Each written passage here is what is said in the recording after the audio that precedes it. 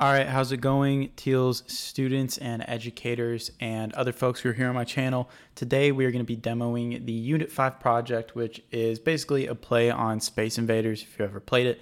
Um, some basic stuff here you can see on my project. Um, we have a start button to begin with, and then you start with control of a dog down here at the bottom.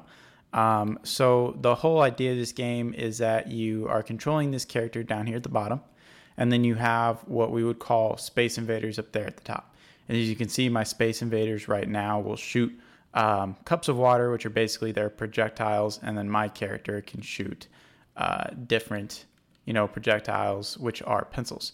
Um, so the goal of this project is to basically use cloning so that we can make these projectiles that you keep seeing falling here, as well as the different um, projectiles that my dog here shoots. Um, so you'll see in just a second too, we have levels within the game. So what you just saw was level one, and now I am on level two. So here, level two, you can see there's an extra cat that is flying across the top, and uh, they speed up a little bit. So of course the goal is you don't want the cats to get all the way to the bottom, one, and then two, you want to eliminate all the cats as they come down. So you're going to see me do that in just a second. And uh, hopefully I can actually do it.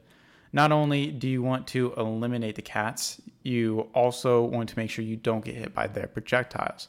So you can see here I have a screen that says you win. Um, that's the basics if you win. Now I'm going to show you what happens if you get hit. So here I'm just going to let the uh, dog at the very bottom get hit by the um, by the different projectiles and I'll start losing lives.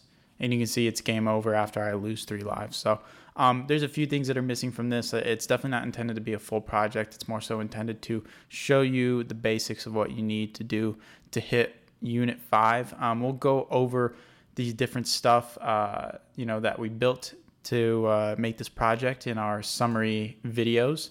Um, but I'm just going to go over some of what's in the syllabus and the checkpoints. So um, the required checkpoints that we have, the first one is we want the player and a single invader moving correctly. So that's the first checkpoint which you can see here we have, uh, you know, down pat.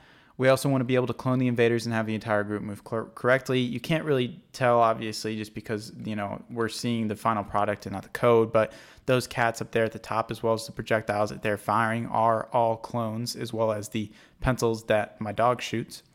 Um, and then the third and final required checkpoint is we want to be able to fire projectiles from both the player, which you can see I can do right there, and from the invaders, which is random. And you can see they've been doing that this whole time. They keep dropping down glasses of water on me, trying to hit me.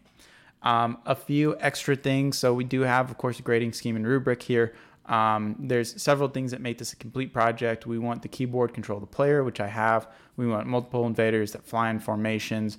Um, you know, we want to, uh, you know, have those invaders die, quote unquote, when they get hit by a pencil, um, or in this case, projectiles.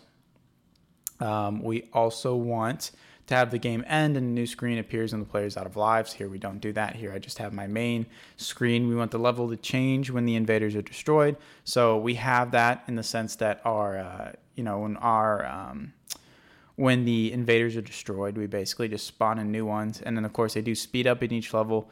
And uh, you know if you have points within the game they increase with each level. So again i want to stress you know if you're looking at this game and if you copy me directly you won't get full points. You do need to implement a few more things i just don't have here. But in my opinion there's some of the more elementary things and it you know still makes your code you know complete still makes it a very complete and final project. So please do tune in um, for the full walkthrough to see how we built this and how we you know figured out some of the problems that we have within cloning and uh, i look forward to it